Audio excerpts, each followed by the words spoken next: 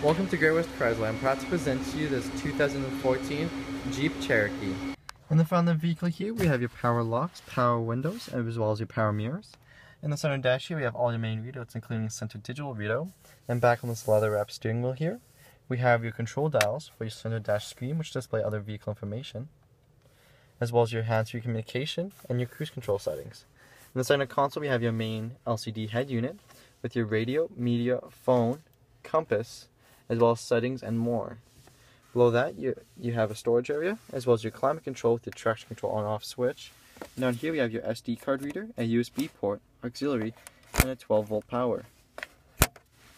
Back here we have your electronic e-brake switch, as well as in the center console storage area, we can flip this up to reveal another USB port and also 12 volt power. Up above the mirror, we also have a flip down sunglass holder.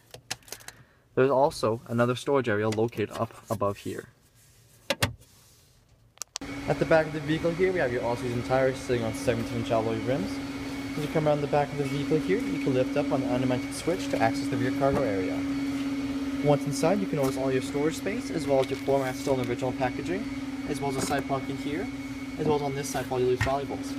Underneath the floor, you'll also have your compact spare tire, toolkit, and jack located in this area upon purchasing. In the back of the vehicle here, we have power windows, and as we come into the vehicle, you know, can notice plenty of legroom for the back passengers, as well as the control of their own vents. They also have a flip-down center armrest and cup holder. At the front of the vehicle here, we have all-season tires sitting on 17-inch alloy rims. To come around the front of the vehicle, you'll notice your daytime running lights, as well as your bottom-mounted fog lights. Uh, also, thank you for watching this video on the 2014 Jeep Cherokee.